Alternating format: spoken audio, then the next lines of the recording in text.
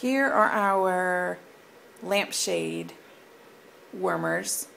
I wanted to show y'all uh, the difference between them and our, or compared to our other warmers. Um, here's my silhouette warmer. And you can see it's probably about six and a half inches maybe. And um, this lampshade warmer is called the Tulip. Um, and it's eight inches tall. See, it has a base, and then the shade goes on top. Then it has this little um, beaded part that goes on that, and then your wax goes into this dish right here. And then, of course, your light bulb inside that. Um, the tulip warmer right here also comes in a gold. And then this is our diamond lampshade warmer, um, which is beautiful. It also comes in brown. And it also sits on a base like this. And this is glass.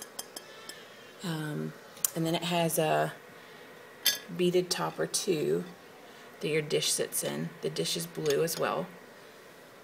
Um, and I'm going to turn off the lights so you can see what these look like, what kind of glow they